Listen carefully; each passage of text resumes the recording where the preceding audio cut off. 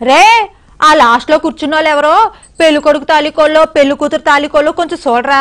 ఎవరి తరపున కాకపోతే తొందరగా పంపించేయు. మనకు భోజనాలు ఖర్చు అంటూ పెళ్ళి ఫంక్షన్స్లోను మిగతా ఫంక్షన్స్లోను చూసుకుంటామండి. కాసింత అన్నం ఎక్కువ పెట్టడానికి ఎక్కువ మంది పెట్టడానికి కూడా చాలామంది ఆలోచిస్తారండి. కానీ ఈయన ఎవరో కానీ రోజుకి వంద మందికి భోజనాలు పెడుతున్నాడండి.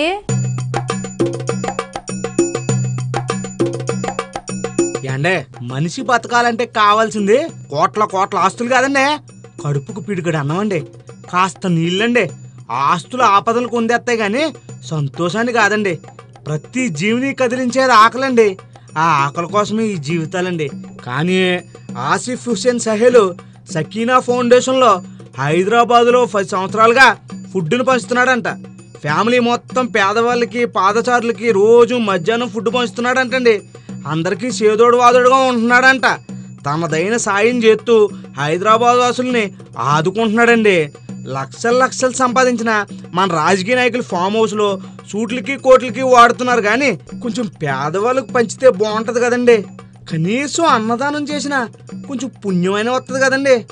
ఆస్తులు సంపాదించుకోవడం కాదండి. ఆస్తులను సంపాదించుకోవాలండి. నలుగురు గుర్తుంచుకునే విధంగా పని చేయాలి. నలుగురికి అన్నం పెట్టే పని చేయాలండి. అంతే.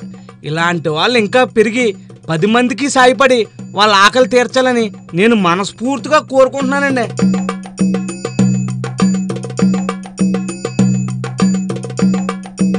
ఆకలి మించిన కష్టం ఈ భూమి మీద ఇంకొకటి లేదండి. అలాంటి ఆకలి తీర్చిన వాళ్ళు నిజంగా మహానుభావులండి.